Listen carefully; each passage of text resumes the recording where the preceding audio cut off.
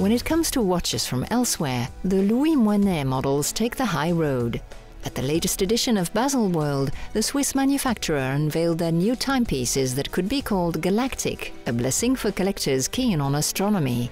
The first novelty for 2016 is the Sideralis watch. At first glance, we note its two counter-rotating tourbillons and its starry sky. C'est un double tourbillon inversé C'est-à-dire qu'une des cages tourne dans le sens horaire et l'autre dans le It's a counter-rotating double tourbillon, meaning one of the cages turns clockwise and the other counterclockwise.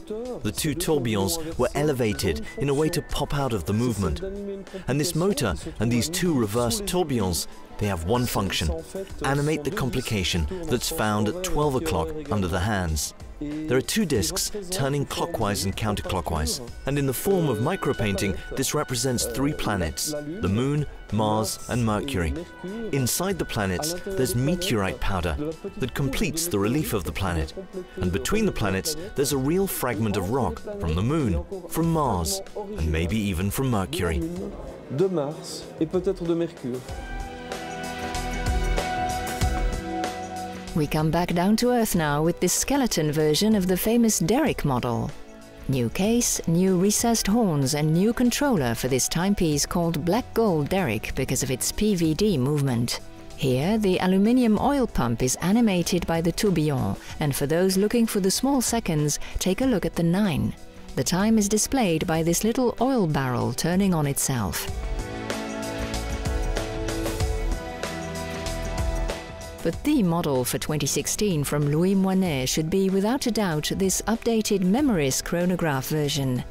Invented by Louis Moinet in 1816, this famous chronograph celebrates its 200th anniversary and on this occasion, the Swiss watchmaker chose to release two limited editions of this model unveiled for the first time last year.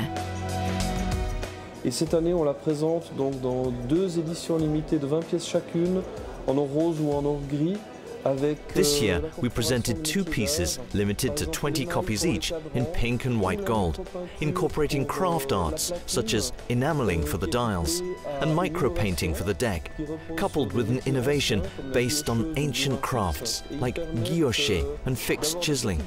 And it allows us to have little stars in a starry sky that shine or turn matte depending on the light. It's our tribute to Louis Moinet, who developed this in 1816 for his astronomical observations.